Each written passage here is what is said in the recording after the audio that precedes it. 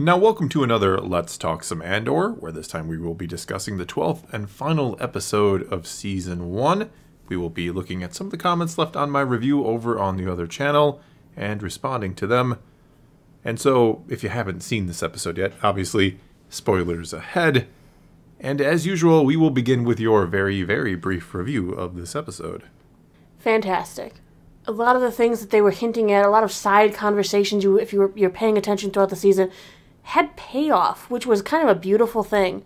A lot of payoff, a lot of strong emotions again in this episode because the show has so much heart. There is no wasted scenes or moments in the in this series. Everything has meaning. Everything will come back and be relevant, and you have to pay attention or you will miss things. Mm-hmm. And yes, the emotion is absolutely there. But anyway, before we discuss too much, let us get to the comments and begin, as always, with the top-rated comment from the video. All right, this comes from Life After Phasma. I want to thank Thor for his positivity all this season of Andor. There's been a lot of infighting in the fan base about this show, but Thor has maintained his calm and rationality, and every review has been wonderful to hear. The show is something to celebrate, and if people didn't like it, I just hope they can be happy for those who did. Hopefully, it grows in popularity, and season 2 improves upon season 1 to embrace even more fans. Yeah, I, I mean, first of all, thank you for the kind words, of course, and it's my pleasure to, you know, talk Star Wars with all of you. It's a, it's an honor in my, in my view, really. And I mean, I, I hope the same about season two, or by the time we get to season two, that some more fans and more people in general will find this show. Mm-hmm. I mean, it's been, I, I know I, I'm a broken record, but it's phenomenal. It is some of the best Star Wars we will ever see. It is, it is that good, in my opinion. And if you happen to be someone who doesn't like it, that's that's fine. I mean, I know I spent a long time talking about you know the sequel trilogy. I, I didn't like them, but I never had an issue with people who like them. I think that's absolutely fine. So you know, this is kind of a, a shoe on the other foot sort of scenario. And if you don't like it, that that's fine. I don't I don't you know I don't have an issue with you. Just as long as you don't have an issue with me enjoying it this time around. All right, next comment comes from Azure. Brasso beating Imperials over the head with Marva's corpse brick was way cooler than any possible reveal of Marva still being alive and having a big rebel moment. Yeah, she got her big moment anyway. Hey, she still got to kick ass. She did. I think she kicked more ass this way than she would have any other way. That tells you something. I mean, the emotions even that Brasso felt. Come over and you you kick B? Really? You that kick was a B? mistake. Who was in mourning? The biggest mistake the Empire Oh, ever made was then, kicking B2 You over. know, this is Sparta. We just kick Oh, him God, down yeah. and pummel him with Marva. Anvil guy. I loved Anvil guy. Anvil guy was good too. He also Sparta kicked. A lot of Sparta. oh, there was a lot of Sparta. Yeah, I thought you were talking about Anvil guy Sparta No, kicking. no, Brasso did it Brasso first. did some Sparta kicking Yeah, he after he kicked over B, he got kicked. That's right. And then he got And bricked. then he got he got Marvin. yeah, that's a, the, not the bricked that the Ferrix people talk about, but a different kind of bricked there. Mm. Bricking someone with a brick. Yeah. So going on this comment with the Marva still being alive and secret thing, Tony Gilroy didn't. uh He thought it was an interesting theory. Yeah, he talked about. We talked about that in the video He yesterday. did an interview where he mentioned the fact that he thought it was an interesting theory. I mean, it didn't work for him and his setup and where he was going, but he thought it was okay. Yeah. He's like, yeah, it was innovative, it was smart. Yeah, Yeah, I think not? the people who came up with the theory, you know, anybody who liked the theory, just wanted, you know, Marva to get the moment. I think that was the important part. It wasn't so much that, you know, they wanted her to still be alive as much as they felt like she deserved something. And after we got it, it felt like, yeah, she did deserve that and it was well executed. After a speech of emotional and riveting speeches, it's it's hard to rank them. It's incredible how many monologue slash speeches there were in this and how good they all were. All right, the next comment comes from Posan Theory. I didn't really feel Nemec's death in episode 6, but it came back around through the voiceover of his manifesto and just hit me like a ton of bricks. I couldn't help but tear up. Was that a pun or A ton of credits. a ton of credits? Yeah. I, I agree. I I think mean, it, Nemec's death, it did hit me and it was sad, but I didn't feel like I really knew him. But then hearing his words, his impassioned beliefs later on, and seeing Cassian deliberately put that in his coat pocket and then put that coat onto Bix, and probably in the hopes of getting that message out there because he was going to meet Luthen where he didn't even know if he was going to live. yeah, he was ready to die. So he he passed on Nemec's inspirations to such a broken individual. Just to it was it's so powerful what Nemec's Nemec's words, what his rhetoric can bring. And Yeah, it's interesting because early in the season, you kind of look at, or I at least kind of looked at Nemec as that young idealist who mm-hmm. hasn't been there and done that, right? You know, he's got, you know, I can fix the world. Granted, I'm young and haven't experienced it yet. Mm-hmm. Not not saying that Nemec probably hasn't had some bad experiences to bring him to the, you know, rebellion, but you know, a lot of times when you're young, you're very idealistic and you think you can figure all this out. And so to have Cassian, who has now been through it, hear those words and be able to kind of interpret them in his own way after his experiences, and you know, you have the idealism kind of, you know, taking root in him now. i It, it's great stuff. like I said, and passing those words on to Bix, who has just been broken. Oh yeah, I, I'm curious how much we'll see of Bix in, in season two, and what what I becomes of her after that. How much is kind of left of Bix, if you will? Because How much rebuilding has to happen. Yeah, she looks rough. Next comment is from Aether Horizon. We had three major speeches in this series, and the director did well to depict Star Wars in its true seriousness. You know, it was a good episode when Marva's speech evokes your feelings to make you hate the Empire. The tension, emotions on everyone's face, the ambiance during the scene, simply phenomenal. Seeing Luthen react was my breaking point. Seeing him realize that he truly shares his vision with ghosts but at the same time feeling relieved that there's still hope for a rebellion in a war that he won't fight alone anymore. Simply put, 9.5 out of 10 series and episode. This is Star Wars, and we want more like this. Yeah, I mean the Marva speech. It's it's always you know you're sitting there you know on your sofa at home or whatever you might be doing watching it, and like you feel like you want to get up and fight, right? So imagine the people there really you know experiencing it in the moment with others and the power that can can no doubt have a speech mm-hmm. like that, and if it were you know real, of course. Right. I mean, there were times during that episode I got goosebumps, and that's so refreshing. To, Yeah, like you made me really feel and Yes. empathize. It was crazy just to watch how all of these characters.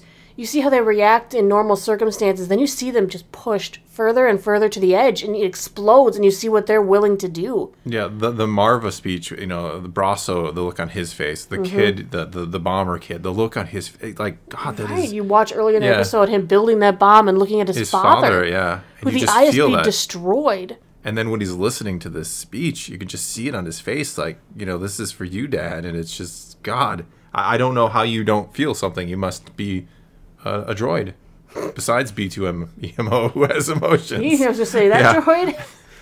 Oh, I Because he can bring out their emotions too, can't he? Sir says, I was quite literally shaking in anticipation during the funeral march because it was clear everything was about to blow, and yet we had no clue how it was going to go down.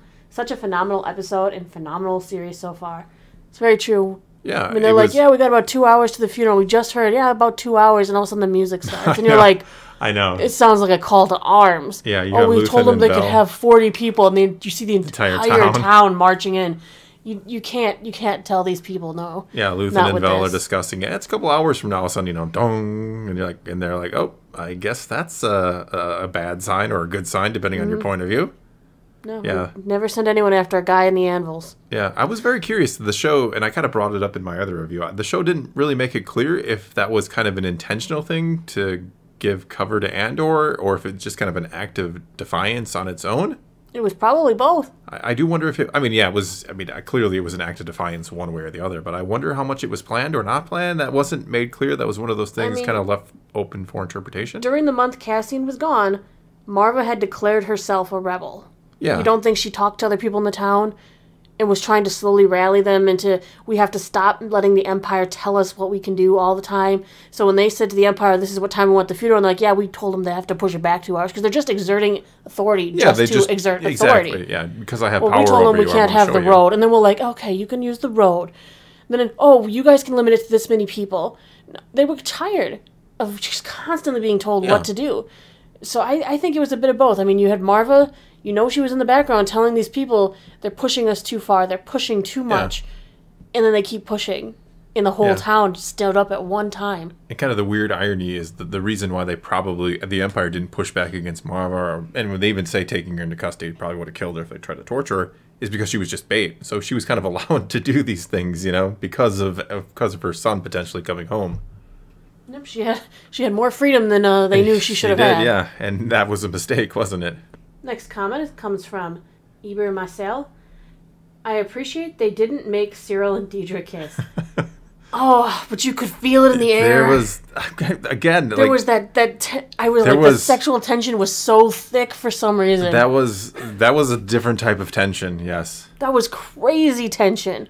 the yes. I just think neither one of them knows what to do to take that next step. Yeah, I kind of got that feeling too. Like I don't think either one have really been in that situation before. No, and all of a sudden she's just like, kinda- um, I should say thank you. And he's like, You don't, have to. You don't have Yeah. to. No, like, oh no. as someone who's been on team, you know, Deidre from early on, I, I'm kind of glad they didn't make them kiss because it would have been a little, a little bit of weird and much. Because they're at the both same missing time- that one thing that'll actually like they don't. Syril doesn't seem to have much in the way of healthy relationship. His You friend subordinate Yeah. is the closest healthy relationship he seems to have. Yeah, So he probably doesn't like know what these feelings are even for Deidre that he might be having. Deidre. Deidre, see, I've got saying. you on the train too. Ah. Welcome aboard. It's the little details though with these guys sometimes. It, it is. That's what that's what rounds out a show. That's mean- what rounds out a character. Even the hat switching. The hat switching. I love the hat switching. Yeah, It it makes sense. And then him and Mosk sitting together on the transport, they swap hats. A lot of people looked at that scene going, "Why do they swap hats?" I looked at them like they're like best friends. Oh, we both were given a, an item. Let's say you got the blue one and you hate blue. They gave me a red one, and I have no preference on color. I'll just switch with you. Well, Mosk knows that that Syril likes a well tailored outfit. well-tailored suit, He, yeah. you know, he tailors his necklines, keeps everything trim and neat. And if you look at those two hats, the hat that Mosk is wearing would have been sloppy and too big on Syril. So the switch was probably just because they're friends and he knows him. And he's like, I know, I know, I know my boy over there. He probably He wants the hat, yeah. better tailored hat because there's no insignias or anything. They're just standard civilian hats yeah. for going undercover. When I don't think that's what the hats are for. well, but yeah. they're, they're probably trying to hide their identity. No, I know, but I mean, they're not like they're not like labeled undercover hats. Going undercover, pick up this not hat. like security detail hat. yeah, Next from MP, I really love the world building done for Ferrix, down to their burial ceremonies and the flow of the day to day activities. Things only contained within the community, like the bell tower and the clanging, which alienated the Imperials there, throwing them off. Seems like a great strategy. Also, I'm glad everyone who I think matters have lived to see season two. yeah, no major deaths. No, I, I thought this was going to be a bloodbath, and Yeah, almost a surprise, and you know that was the subversion of expectations. You know that nobody died. But Nobody I, di- I'm I'm curious what happens to Ferrix now. well, those t- those people not dying though then means they can be used against Andor later. True, If they find you know them and know that Andor possibly got them out, true. But no, I, I'm curious what happens to Ferrix. I mean, this is I mean this was an uprising, right? This, This was, was striking back against you know if these people don't get out of town and don't run and find somewhere to hide, who knows what's going to happen to these people? yeah. I mean, This whole community is going down. Is there for this. going to be a mining accident on Ferrix or a, Hmm. a, a ship that blew its, you know, reactor and uh, everybody was killed, quote unquote? possibly? I mean, we've heard of other things like that before, so Next from Ron Falk. Loved how the finale held true to the rest of the season and that it was the normal, everyday people rising up against the Empire. Best Star Wars content in a generation. yeah, that's what I love about it. I mean, I, I get the people who love lightsabers and Jedi, and I've talked before about the the Luthen being a Jedi theory.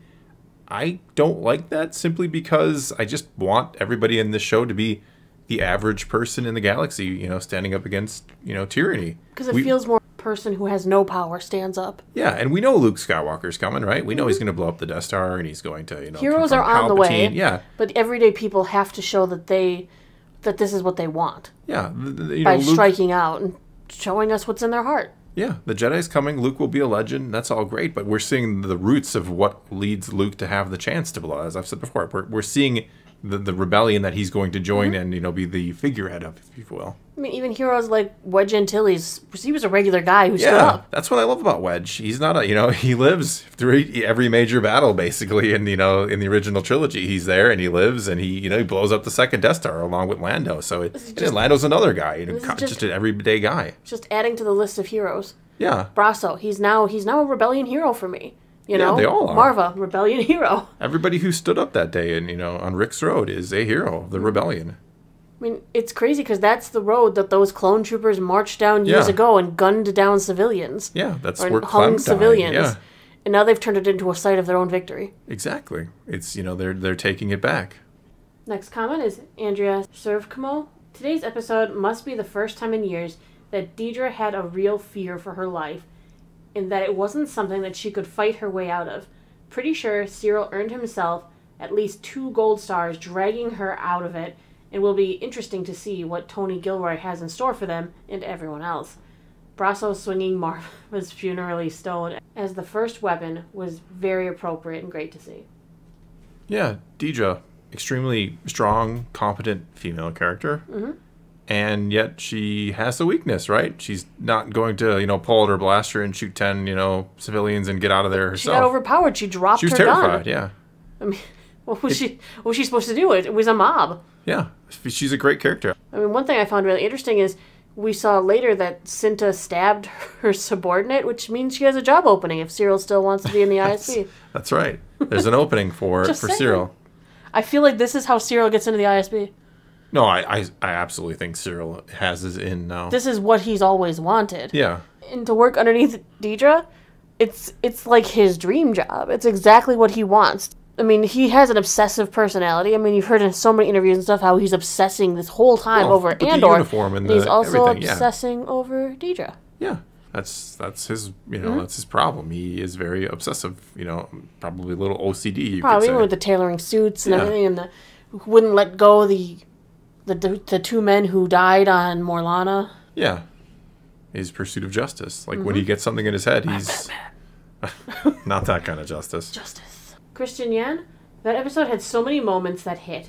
Andor's expression when Brasso told him his mom's last words, Mon Mothma's play using her husband against the Empire, Luthen's face as he watched the townsfolk die, Andor getting Bix out of the garrison, Brasso hitting Imperials with Marva's death brick. I'm flooding with, with the imagery. I loved that final moment when Andor appeared on Luthen's ship too. The future spy, master of the rebellion, has come out and is showing his chops. He outplayed the biggest player in the game and surprised him. This was just so good. Yeah. I mean, it's all because, you know, there's setup and payoff, right? Exactly. That's what it is. I mean, we, you know, you hear people say, "Oh, it's kind of slow," and "Oh, there's filler episodes." It's you can argue it's slow if, if you know if you don't like the pace. That's you know subjective. That's fine. But there, there's no filler in this. It's not filler episodes. It is setup, and then you get these eventual amazing payoffs. Our last comment today will be from The Frozen One. As a music teacher, I have really enjoyed listening to the varied opening credits scores and trying to guess what it could mean for each episode. The music in the last episode was especially unique. Britell seems to have scored the instruments to play intentionally out of tune or scored in different adjacent keys, creating not just a dissonant sound, but an out of tune sound. I thought at first it was just meant to represent the brokenness under the tyranny of the Empire, but when the episode gradually showed the band members tuning their instruments and then each one trickling into a final unified dirge, it made me think this was meant to represent the trickling of people into the rebellion, the change in hearts of the people of Ferrix and around the galaxy, which harkens back to Luthen's speech in Cassian and Nemec's manifesto. Each person present made a decision to not let the Empire scrape away at their lives anymore, and instead come together in harmony to make a stand. Like musicians, they combined in purpose to play in tune as one body to do something in a rebellion against the Empire, come what may, because it's better to do something or even to die for a cause of freedom than barely live under tyranny. I was completely enraptured by the scene. Yeah, there's a difference between being alive and living life, right? Absolutely. It wasn't even just those speeches, just like uh just like this comment says. The speeches were were on par, but that music, the way that they used the music to give us expression and how it changed theme by theme, week, week by Yeah. week, episode by episode, just really expressed how the, the tones of the episode and how they were meant to make you feel. Yeah, we had so many different types of, you know, I'm not a music expert, but but I mean just the, you know, in the when we went to the Miami Vice planet. when we went uh Ne- Niamos. Yeah, we had the club music on Yeah, we had kind of like the club music and we had some kind of, you know, more wonky like 70s sci-fi music and you know, there's there was so many different types of music in there or score, you know, the score was so varied and it always just fit perfectly. like I've said a hundred times, I feel like A good composer knows when to when their music needs to really drive in the emotion and when they need that silence. Yeah. And that silence can be just as powerful as anything else, and this was handled so well. Yeah, the music. I mean, again, it's it's a nearly, it's a virtually flawless show. There, there's so many.